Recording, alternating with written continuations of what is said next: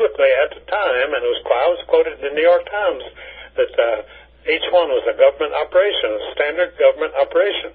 Absolutely. Yeah, that's that's hitting the nail right on the head. Now, like us, you've been faced with a lot of criticism throughout your career. One bit of this came from a guy, a total worm named Chip Berlet. And oh, Chip Berlet has been writing about me. I'm I'm his bugaboo. I'm yeah. the favorite target of these real funnies. Yeah. Well, let me uh, read real quickly. I'm an innocent 83 year old person who lives alone in a small town, and I'm no threat to anybody.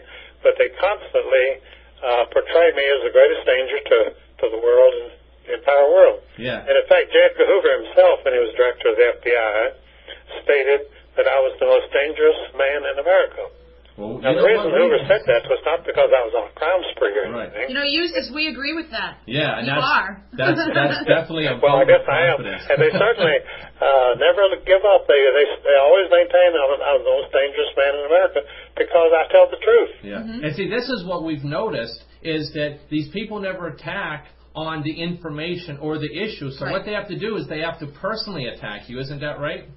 It's a personal attack, yeah. I'm the only person who's ever fired from the staff of the Library of Congress in Washington, D.C. And uh, I was fired on trumped-up charges by Senator Herbert Lehman, whose daughter was the uh, attorney for Alger Hiss. Wow.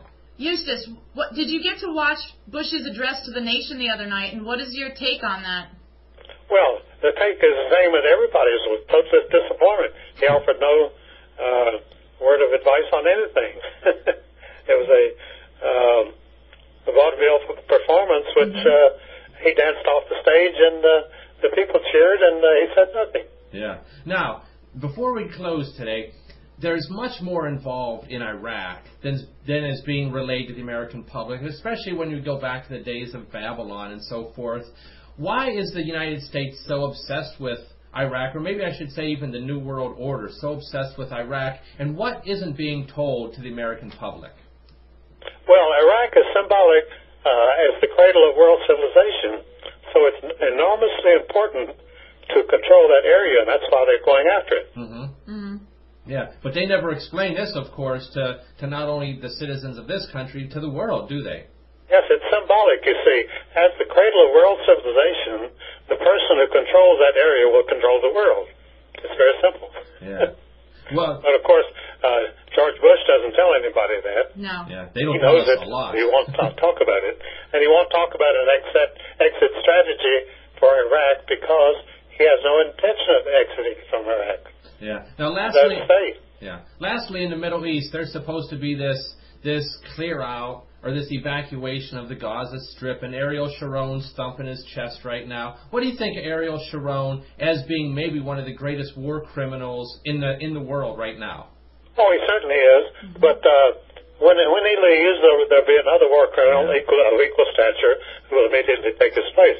You know, we had Rabin, who was executed by his own Israeli people right. because uh, he finally realized we had to give up some of the Jewish settlements in Palestine and so they promptly executed him and put and put Shimon, Shimon Peres in.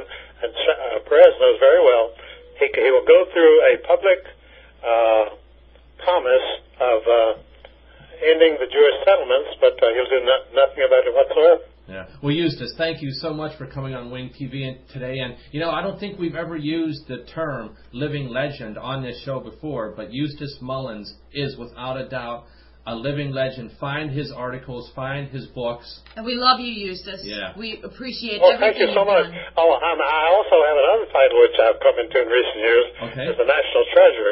Many of the people uh, that I write for tell me that I'm a national treasure. Well, we you are. Uh, yeah. I think that's because. I'm passing on the wisdom of Ezra Pound to the American people. That's See, right. Ezra turned over all of his uh, research to me. He had 30 years of research in Europe and he turned all over that to me in uh, 1946. Right. So uh, that's really how I've been able to do the, the work. At the age of 25, I uh, was able to tell the people of the world exactly what was going on. Yeah. And of course, well, at my you. age, I had no personal knowledge of any of this, but I, right. uh, Ezra had turned all the results of his work to me, and I, I grew from there. I just continued to uh, uh, examine it. Well, yeah. we're so glad he did. Exactly. Eustace's website can be found at eustacemullins.com. His books are The Secrets of the Federal Reserve, also The World Order, and many others. And it's the most important reading you'll ever do. That's right. So, Eustace, thanks a lot. Have a great weekend, and we'll talk again, okay? Well, that'll be great.